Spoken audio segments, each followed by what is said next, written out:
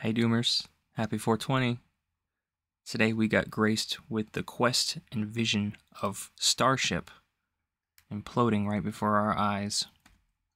Humanity's last, best hope of leaving this planet, and a ball of flames in a rapidly unscheduled disassembly.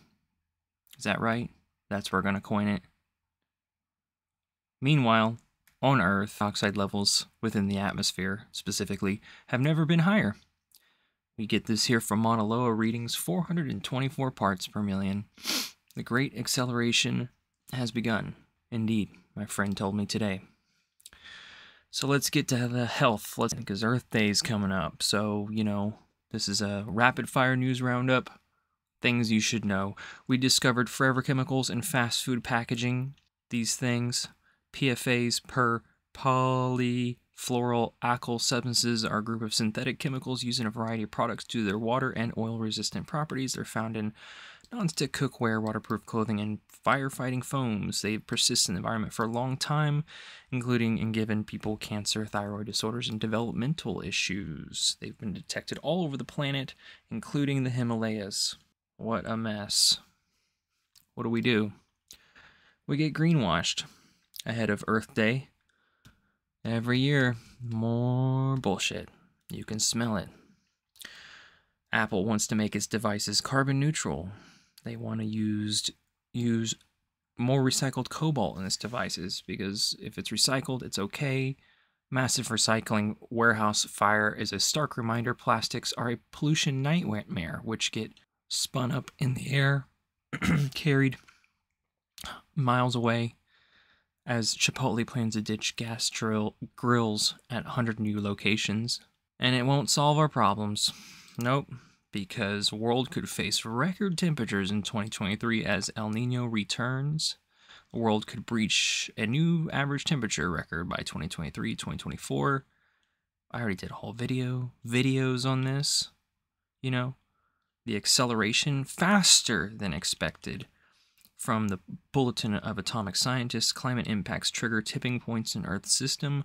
This was written yesterday.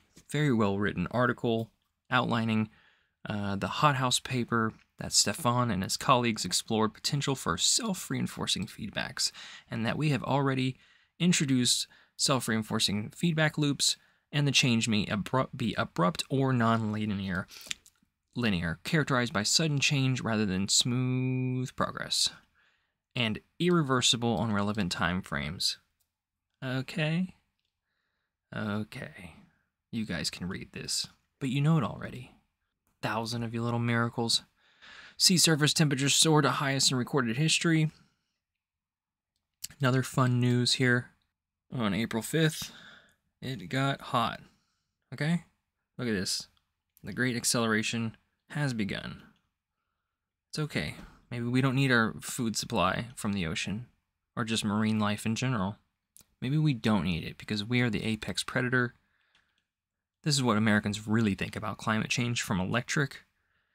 Nearly 7 in 10 want the US to take steps to reach net zero because they're clueless morons. And 58% feel their state elected officials aren't doing enough. Over around 50% think they're personally doing enough to reduce the effects of climate change. Except no one's doing a damn thing. More than half Americans, 54%, not everybody, okay, not everybody, not the Trumpers, acknowledge climate change is a major threat to the country's well being. Nearly 8 in 10 acknowledge that it's a major threat, but only 23% of Repubs acknowledge the same. Hmm. What a disaster. Methane not, may not warm the Earth quite as much as previously thought. The gas absorbs both long wave and short radiation with competing effects on climate.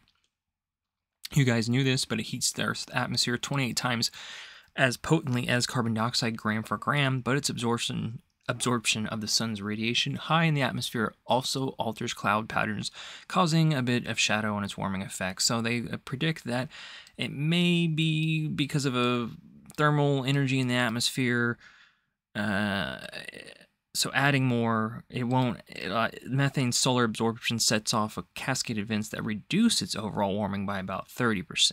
So not quite as bad, but still pretty bad.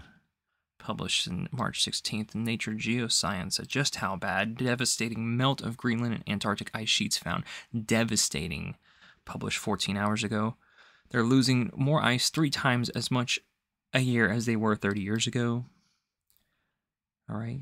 Using 50 different satellite measurements, we can actually see it with our own eyes. We are taking pictures of it. The Greenland melt has gone to hyperdrive in the last few years, the great acceleration, faster than expected.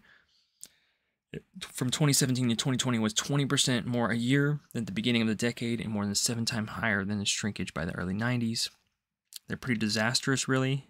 We're losing more and more ice from Greenland, which is going to screw up the North Atlantic and the marine life, like whales, can have to find new places to get their krill and habitat.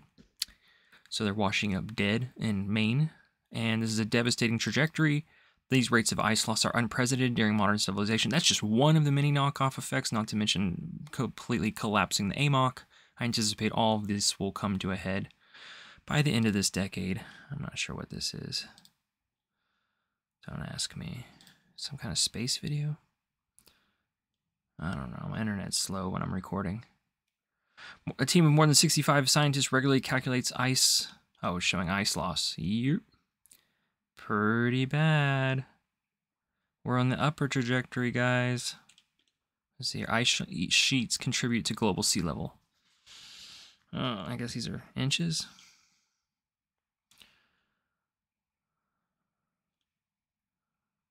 Yep. There's the doom. Yeah, we're on upper, guys. We're not making any progress. But it's okay, Bud Light uh, wants to be, you know, you know, neutral and stuff now because it became a microcosm of America with the great Bud Light debacle because a transgender social media influencer Dylan Mulvaney radically charged beer sales and stock prices literally overnight after a conservative backlash spread bar to bar. Well, damn. I guess these are our concerns. This captures inflamed politics around transgender rights. Okay? Okay. It's okay, we developed carbon negative concrete. A viable formula for carbon negative, can you believe that? Is that a word? Environmentally friendly concrete that is nearly as strong as regular concrete has been developed at Washington State University. Proof of work concept. Proof of concept work.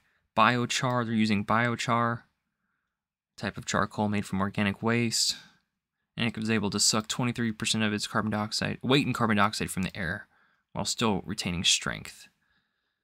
This will contribute to the mission of zero environment. More than 4 billion tons of concrete are poured every year.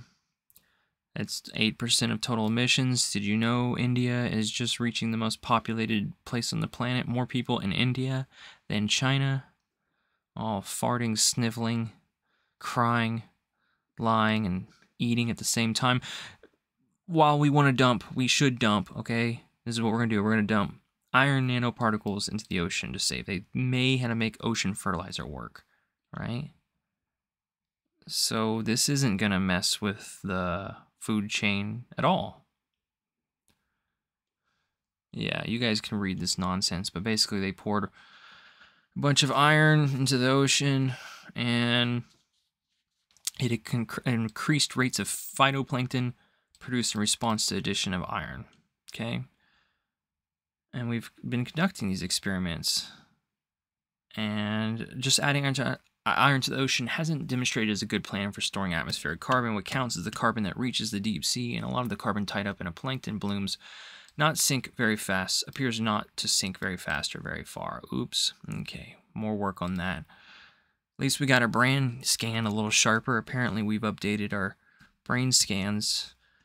Usually we use MRIs, but MRI is good enough resolution to spot a brain tumor. It needs to be a lot sharper. So, decades-long technical tour de force led by Duke Center for Vivo Microscopy, microscopy with colleagues at the University of Tennessee, took up the gauntlet, proved MRI is the sharpest images ever captured of a mouse brain. So, coinciding with the 50th anniversary of the MRI, Uh, we can now get a single voxel of new images. Think of it as a cubic pixel, just measures just 5 microns. That's 64 million times smaller than a clinical MRI voxel. Okay, I'm not even going to try to understand this, but basically we just got a lot sharper, okay? Pretty wild. And your money doesn't go far. Six out of 10 Americans apparently are living paycheck to paycheck. Meanwhile, if you still make $100,000 like this young woman in, I'm assuming, LA, yeah. She got her first job, $100,000. 30 year old now spends the earliest years of her career working in nonprofits, like making less than that. And then she made this now. And then she says she takes home around this each paycheck, 2500 enough to cover her bills in San Francisco. Well, there you go.